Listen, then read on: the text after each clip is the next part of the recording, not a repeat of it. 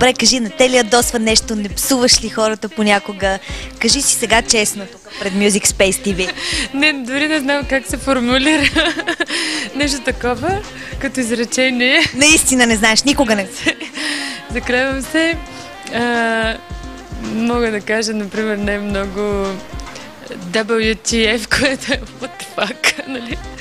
Това не, това не е много. Нещо мога да се възмутя. А, Какво те възмущава?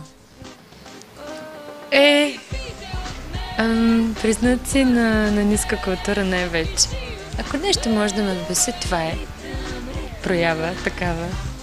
Но в край на краищата човек избира с кого да общува и внимава кръга от хора около него да са подбрани така на едно определено ниво, за може да тече леко общуването.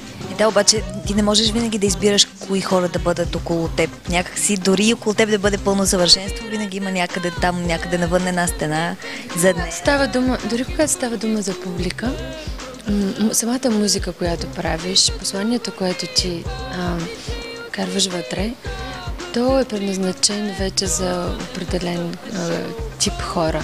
Тези, които са откровени, тези, които се радват на живота и които искат хубави неща да им се случват и ги позволяват а, те да влязат в живота им. Ам, и така. Ама Поп музиката е масова музика, тя не е насочена точно към определен. Към младите, свежи, готини хора, към по-зрелите, които са се влюбвали а, и които успяват да бъдат с години заедно, да имат прекрасни деца и все още да се обичат.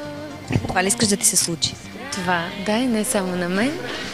Ами, на всеки, който е откровен, който има вяра и който умее да се наслаждава на живота. Мисля, че това е едно нещо, което трябва да. върху което се работи. То не е като че ли ние се раждаме с едно голямо щастие от живота, после го загубваме, загубваме тая невинност или наивност.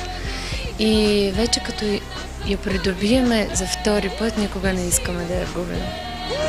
ритъм, ритъм. Yeah.